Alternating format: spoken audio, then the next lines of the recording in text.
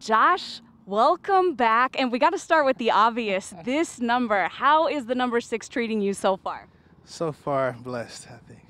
You know, it's um, for me, it's a number that I had in middle school, all the way up to high school, wanted to college, but 2 4 chose me, so I went with that throughout the league and even in college. But, you know, I looked at it as started with Carolina, and so it kind of started out with six, and it was right there for it.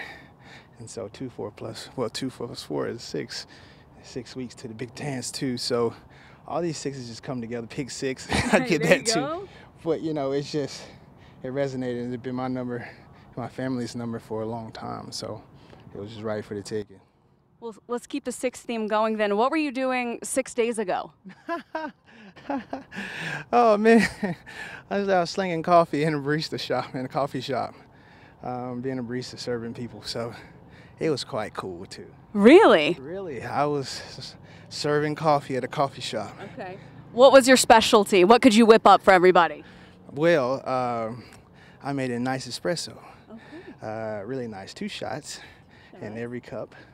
Um, and it was a latte form, so I had the frothed milk, but it got oat milk 1st Mm-hmm. That was the base, and then that was a Lord Omni, which is a sweet potato latte, which is quite different from anything else, right?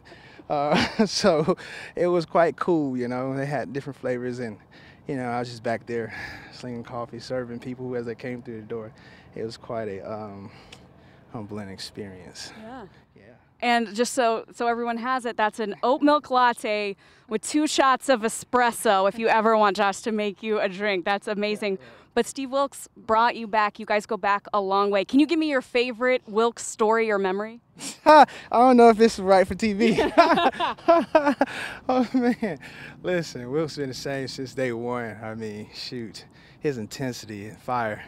He got a little bit more gray hairs on him though, but uh, nothing has changed. You know, laying bricks is his motto since day one, so nothing is off about that. Staying green, locked in, and obviously the most infamous um, what's your weapons? Mm-hmm. And they always been taught to us since day one. It's four things that, you know, make or break a play. It's eyes, feet, hips, and hands.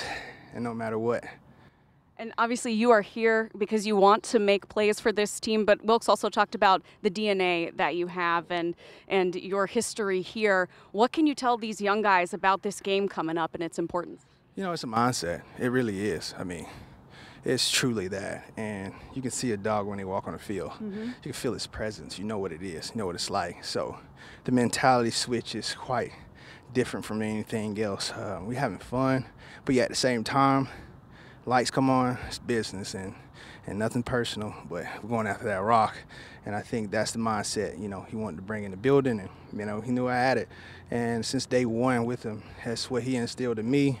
I just played it out through all of my, you know, my career, and now here we are back at it again, doing the same thing, and it's right for the taking. We got a special opportunity, and you know, I'm just appreciative that he still thought of me in this moment to uh, come out and help this ball club any way I can. You know, I bleed black and blue, so keep pounding is in our DNA. So no matter what we do, we always keep pounding.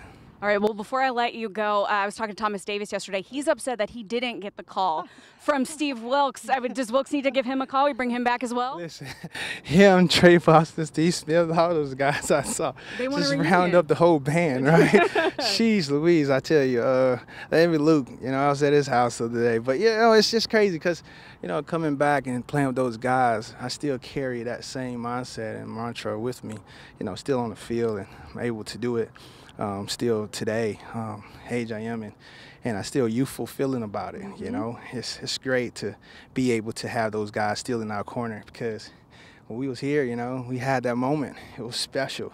You know, nothing's gonna ever take that away, but we got a chance right now to make it right, and here we are, and it's a perfect uh, setup for the plot. So, All right, Josh. Thank you so much for the time and welcome back. absolutely, thank y'all for having me. As always, love the Queen City. Nothing like it.